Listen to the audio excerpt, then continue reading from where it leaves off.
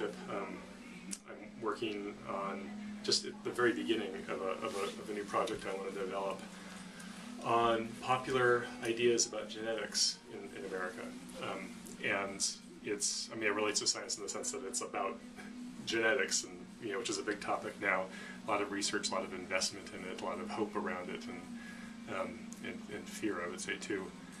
And um, and I think that we social scientists need to, to look from our angle at what's going on here. My general view is that Americans um, put a lot of faith in genetic explanations, and, and there's a certain, I would say, fatalism um, regarding illness and, our, and how we take care of ourselves because of, because of popular genetic thinking. Um, and this popular thinking isn't just, I would say, popular just in the world of, of, of the everyday person, but it, it, also affects the world of science um, at, at, sort of a general level. So when thereby um, practitioners, therapists, doctors who don't specialize in genetics, I think are also taking on this popular idea that our genes explain everything. Uh, even even though a lot of genetic research projects that have uh, had heavy capital investments have, have failed to come up with much of anything in terms of uh, genetic markers for illness, um, that doesn't seem to stop the popular idea.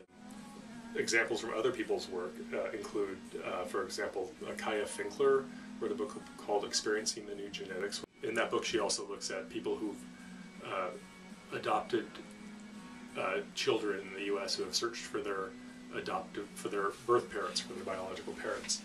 Um, overall, the sense I get from that book and from adopted kids I know, I would say that the genetic ideology in the U.S. limits them. I think they, they think that their true nature is based on some some uh, genetic biological essence.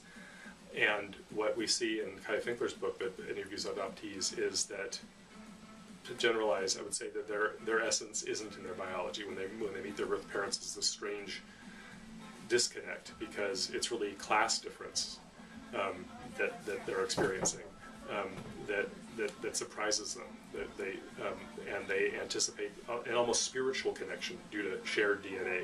We um, you learn from this book that we've made DNA something almost spiritual.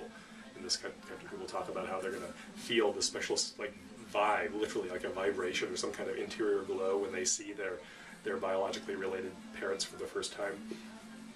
Um, and um, I, I, believe this sort of limits the development of the fulfillment of people's cells, this genetic determinism.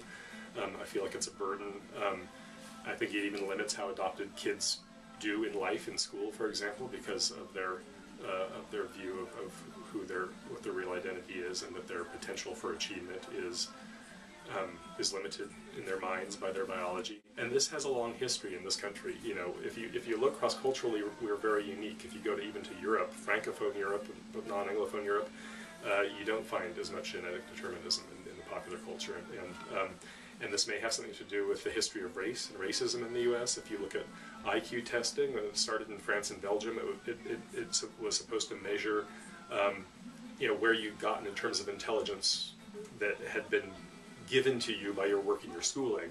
Um, when this test got translated into English, it suddenly became a test of an inherent ability that we were somehow born with, which is a, a new perspective on IQ.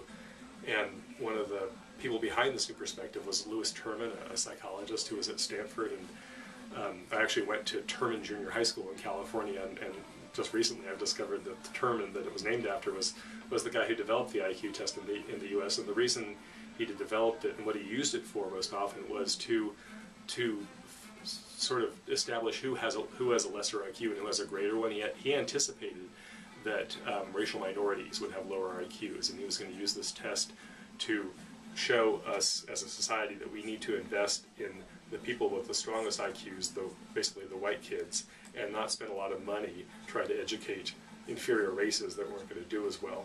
Um, and he made, you know, IQ became something, became something inherent and biological. And so I'm trying to look for whether there's links, you know, in these areas. Do, is our biological determinism, our genetic determinism, our, in our culture, does it somehow relate to our history of, of race and racism? Um, but this is what we've done throughout history: is we, we've always assumed that the reason for the problem is is in, inherent in the the biology, the ge genetics, something in the intangible material core of the person, and we can't seem to come up with social explanations for these differences. Because I think we Americans think this is just what science has told us. This is how things are. We don't realize that we have a very unique re reading of science in, the, in this culture. Genes do things to us. They just don't do a lot of the things we think that they do.